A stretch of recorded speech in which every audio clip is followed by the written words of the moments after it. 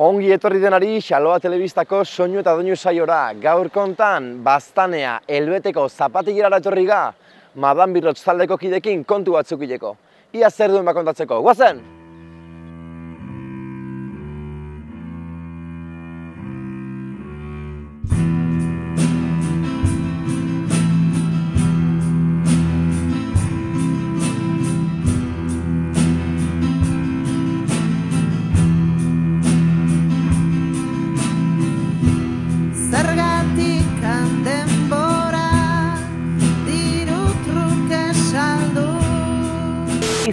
Eta Madan Birrotzen gitarra elektrikoa jotzen dut. Uaina naiz eta Madan Birrotzen gitarra akustikoa jotzen dut, eta hortaz gain koro batzuk ere egiten dut. Katiali naiz eta Madan Birrotxeko abeslaria naiz. Ni alazne naiz eta Madan Birrotzen perkusioan aritzen naiz eta hortaz gain koroak egiten ditut. Zergatik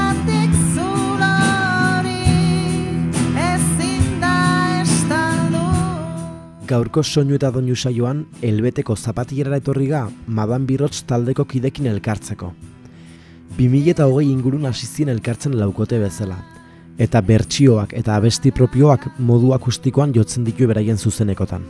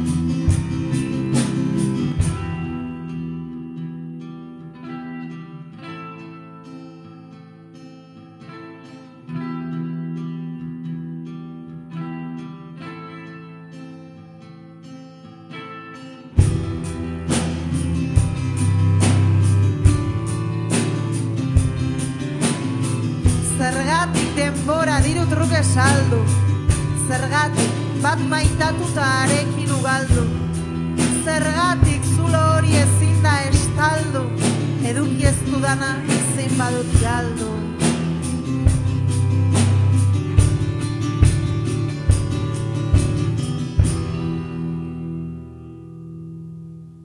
Noiz eta nola sortu zen madan birrotz?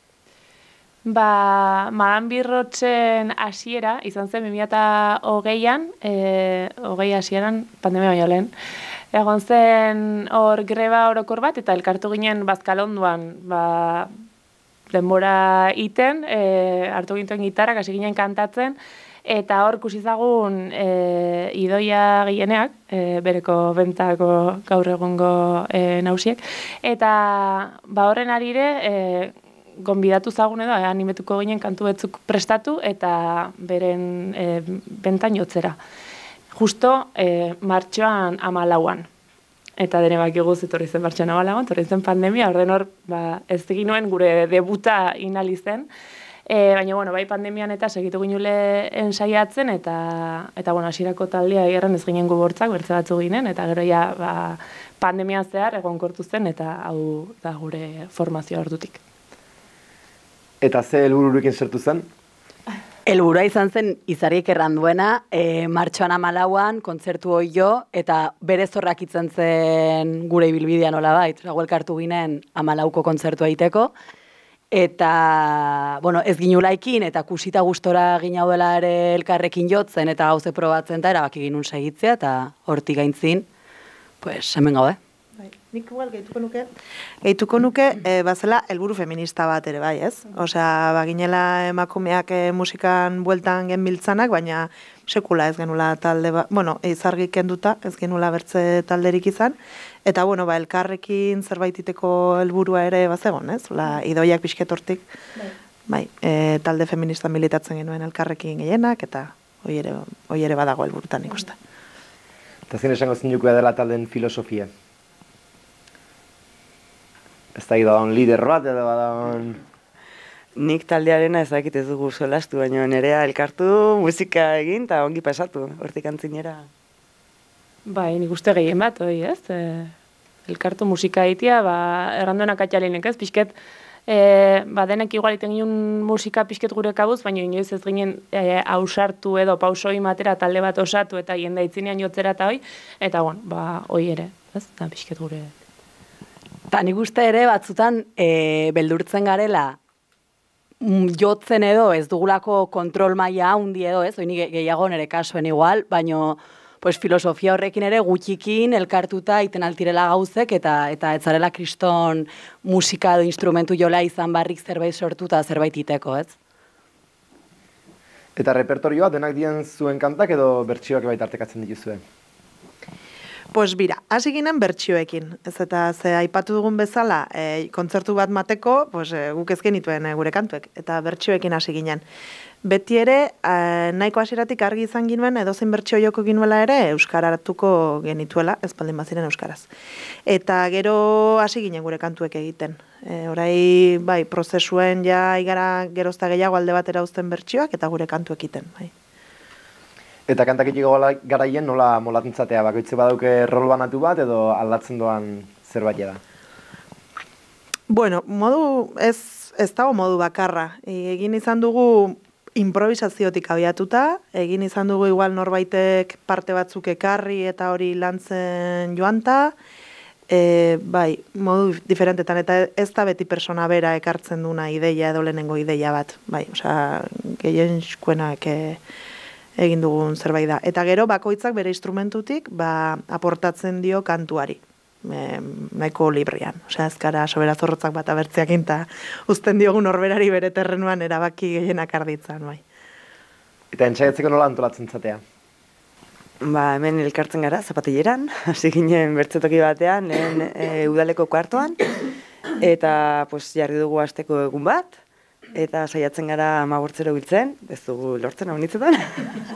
Baina, bueno, pues hola, pues hartetan eta atxaldez, eta gero pues bertzela berbertze zen igunetan posible dugun, eta hola xe. Bai, oi da, igual ez gara elkartzen nahiko ginuen guztie, ba, denek ere agenda nahiko estu guleko, baina, bai, saiatzen gara, hola, pare bat astetze da elkartzen. Eta izena, zeinek azalduko dit Madame Birotx izena nondik heldu den. A ber, e, badu, badu gauza uniz eta, bueno, ez dakita uniz diren, baina ez da gauza bakarra. E, gure lehen kantu propioa da Mariluz Estebanen Andrezarraren e, manifestuaren lehengo, lehenengo poematik ateratakoa. Eta e, kantuaren, e, bueno, poema horren e, izena da birrotxak. Birrotxak dira e, Bizkaian erraten diete neskazarrei edo andrezarrei, hau da, ezkondu gabeko emakumei. Eta bueno, nola gure lehen kantua izan zen, ba, bueno, ba, zuen horrek berezitasun bat edo guretako, eta momentu batean izena pentsatzen ari ginela, ba, hartu ginen ere horrekin joku bat egiten altzela, ez? Birrotx, ba, ba zela hotxak bir sortzetik, ba, zuela horre harreman bat edo, eta nola bertxioak e, egiten hasi ginen, bos, bir hotx, hotxak bir sortu, eta gero madan, pues, mateagatik nola baiteko personalidade bat, ez? Izen bat, eta gero emakumea garen ez lauak nik uste dut horrek ere izan zuela pisu bat. Bai. Eta komposatzen dituzuen abestitan, zer, zer kontatzen duzue? Edo nolako zerbait, nolako erantzun abstrakto bat bai ongi dago, eh? Ustakit, e, pixke denetik, hombre, nik uste dut ere bai, e, makumen realitatera unitz jotzen dugula, osea, egiten dugula pixka bat politika feminista gure kantuetan, agian ez denetan, baina hortik edaten dugula, bai. Eta zerk motibatzen zaitue bi asten behineko ensaioitara etorri eta kontzertutara joateko? Neri batik bat elkartu eta gustora goten gara elkarrekin ongi pasten dugu eta zerbait sortzea eta musika itia bortzen artean.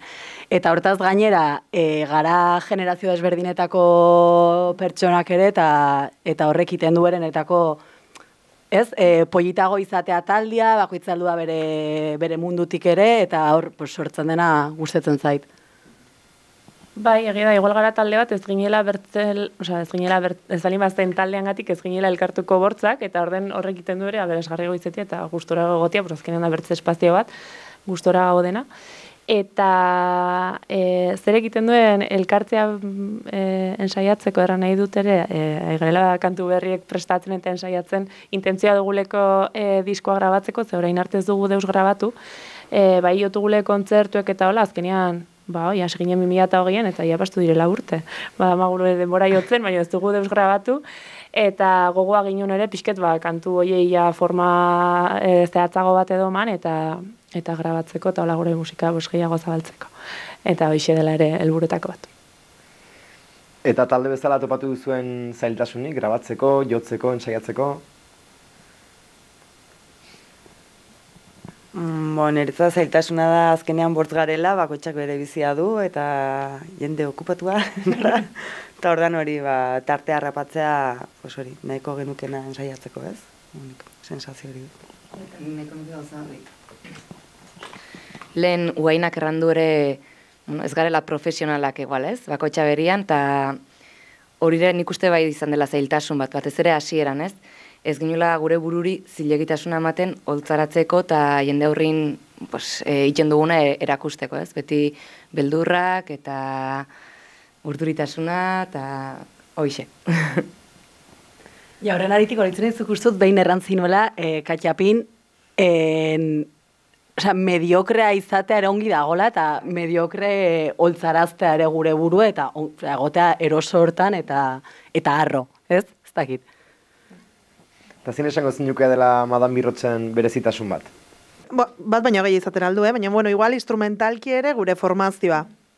E, Uztakit, sobera ongi akustiko, akustikoa den edo ez, nik uste dut izan dula transformazio bat, baina, bueno, pues ez dugu bajorik eta bajoaren papera egiten du txeloak, eta e, kajoia edo bateria jotzen du alaznek, eta segitzen dugu berdin txeloarekin, naiz eta bateria izan, eta hori, ba, Bueno, pues formazio ez dela igual rock talde batena, baina gure musika rockera doa. Pixko bat, bueno, ez dakit, ez dakit rocka den edo ez den, baina nauterran, igual ez, ba, ez dugu flamenkoa jotzen, nahiz igual formazioa flamenko orako urbilago egon ziteken, edo ez, eh? ez dakit, igual hau borratzen alda.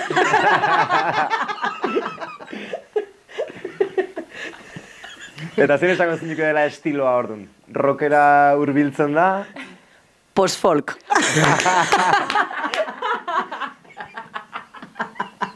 Ez que lehen ibili gara horren inguruan. Bai.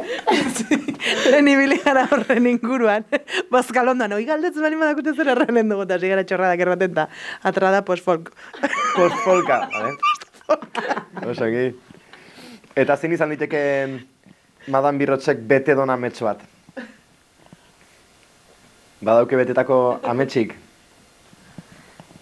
Nire ustez, e, nola elkartu ziren batzuk, ni ez nengo nor, eta ez, eta zen e, kontzertu bat diotzeko, ez?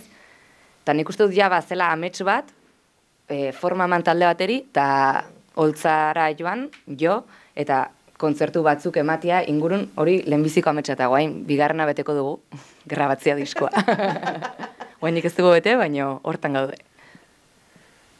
Eta badago erron, bueno, ointxe esan duzena aparte, beste ametxik, nonbait jotzea, edo kanporateratzea taldekin, edo... Edo nahi duzena, noski. Ez dakit bereziki den gure ametsa hola ere kanpora atratzea eta gatea ez dakit nora jotzera, ez?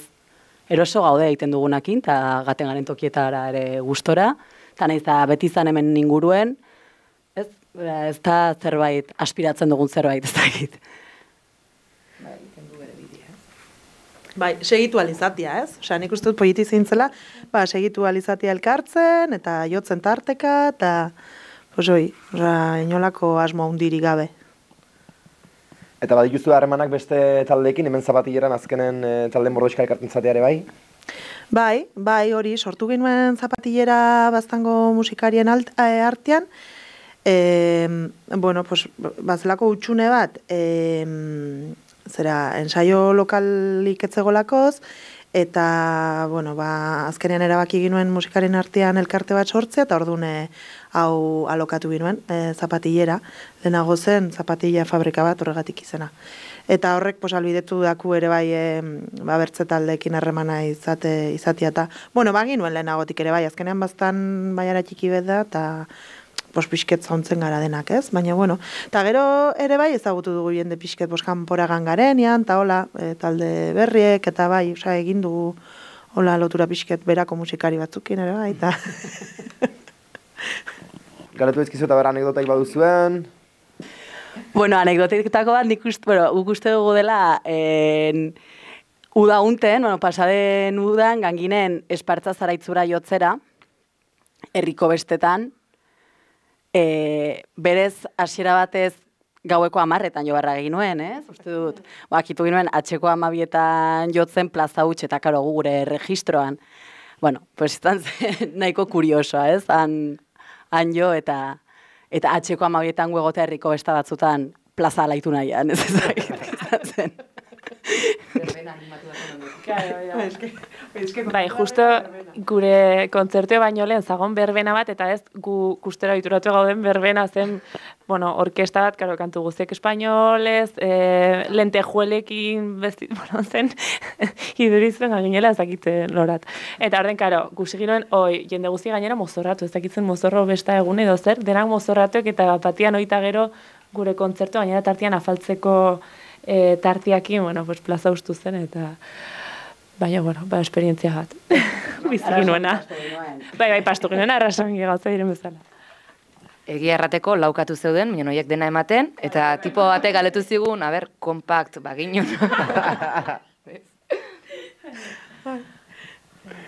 Vale, eta holako... Bai, Kontatu txeken? bai. Bueno, ba, ber, bertze anekdota ergel bat, eh? Gure lehen kontzertuak, claro, nola, eh, martxon amalau hartakoa ezin izan ginuen egin, pandemiatik atra ginenean, begin nuen kristongo guaien deguzie gauzak iteko, eta orduan antolatu gerun, genuen, e, e, baztango talde feministatik, ginaudela bertan, osa gaudela bertan, e, gure kontzertue, pixket, osa antolatu genuen guretako kontzertue.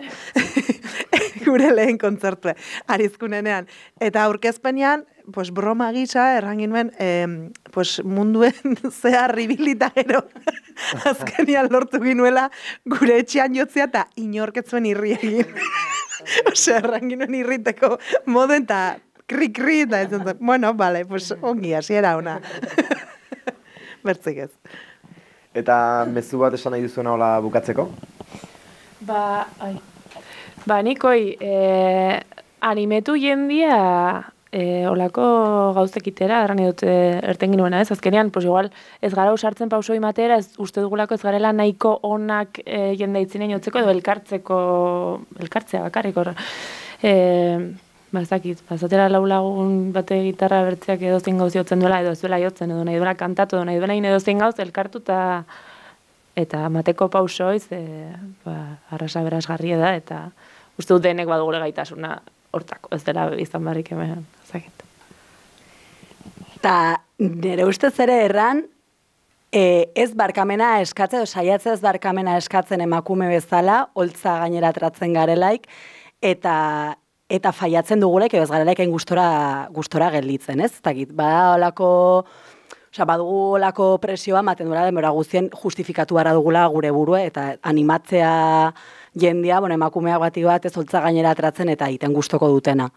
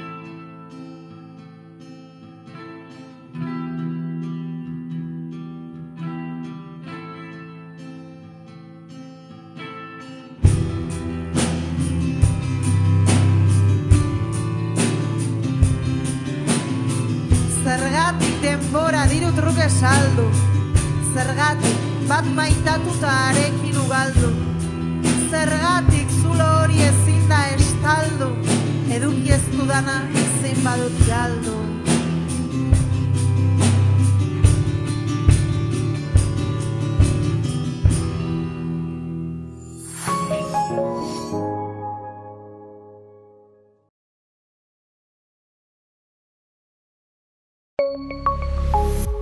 Gobierno de Navarra. Nafarroako gobernua.